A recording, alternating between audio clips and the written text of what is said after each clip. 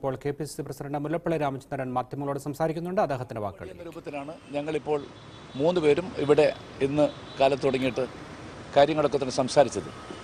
വിശദമായിട്ട് മറ്റു കാര്യങ്ങളിലേക്കൊന്നും ഞാനിപ്പോൾ കടന്നു ചെല്ലാൻ ആഗ്രഹിക്കുന്നില്ല. അതോടൊപ്പം എനിക്ക് പറയാനുള്ളത് കോൺഗ്രസിന്റെ സ്ഥാനാർത്ഥിയുമായി ബന്ധപ്പെട്ടുകൊണ്ട് ഒരൊറ്റ കോൺഗ്രസ് നേതാവോ പ്രവർത്തകന്മാരോ ഇത് സംബന്ധമായി പരസ്യമായിട്ട് അഭിപ്രായ പ്രകടനം നടത്താൻ പാടില്ല എന്ന കാര്യം ഹൈക്കമാൻഡ് വിലക്കിയിട്ടുണ്ട്. ആ കാര്യം ഞാൻ എല്ലാവരെയും അറിയിക്കുകയാണ്. അത് തികഞ്ഞ ഗുരുതരമായ അച്ചടക്ക ലംഘനമായിട്ട് മാത്രമേ കാണാൻ സാധിക്കുകയുള്ളൂ. നാളെ കാലത്ത് പത്ത് മണിക്ക് പ്രദേശ് ഇലക്ഷൻ കമ്മിറ്റി മീറ്റിംഗ്.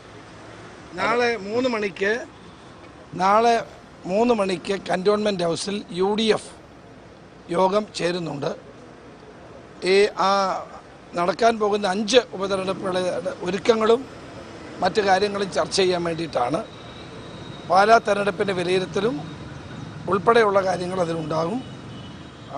അതിനുശേഷം യു ഡി എഫ് ഒറ്റക്കെട്ടായി ഒരുമിച്ച് തെരഞ്ഞെടുപ്പ് രംഗത്തേക്ക് ഇറങ്ങുകയാണ്.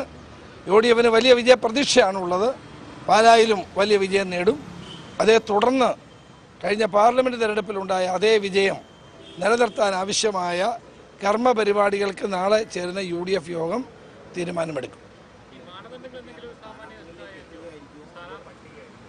സ്വാഭാവികമായും കെ പി സി സി തെരഞ്ഞെടുപ്പ് ഉപതെരഞ്ഞെടുപ്പുകളിൽ അങ്ങനെ ചെയ്യാറില്ല.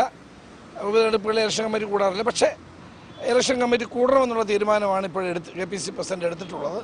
അതനുസരിച്ച് അവിടെ വെച്ച് കാര്യങ്ങൾ ചർച്ച ചെയ്ത് അതിന് കമ്മിറ്റിയുടെ തീരുമാനം അനുസരിച്ച് മുന്നോട്ട് പോകും. അതെന്താ അറിയോ? ഒരു ജനാധിപത്യ പാർട്ടി എന്ന രൂപത്തിൽ കോൺഗ്രസ് ആ രൂപത്തിൽ തന്നെയാണ് പോകാൻ ആഗ്രഹിക്കുന്നത്. പലപ്പോഴും അങ്ങനെ ഉപതെരഞ്ഞെടുപ്പുകൾ ഉണ്ടാകാറില്ല അങ്ങനെ കീഴ്വഴക്കമില്ല എങ്കിൽ പോലും ഈ തവണ ഞങ്ങൾ മൂന്ന് പേരും ആലോചിച്ച് ഞങ്ങൾ തീരുമാനിച്ചിരിക്കുകയാണ്. എല്ലാവരുമായി ചർച്ച നടത്തിക്കൊണ്ട് ഈ പറഞ്ഞ പ്രദേശ് ഇലക്ഷൻ കമ്മിറ്റിയുടെ പ്രൗഢമായ അഭിപ്രായം അത് സ്വീകരിച്ച ശേഷമാണ് ഈ കാര്യത്തിന്റെ ഒരു തീരുമാനം എടുക്കുക എന്ന കാര്യം. ഇപ്പോൾ അതെല്ലാം പറഞ്ഞാൽ പിന്നെ കമ്മിറ്റി കൂടേണ്ട കാര്യമുണ്ടോ അതെ അതെ.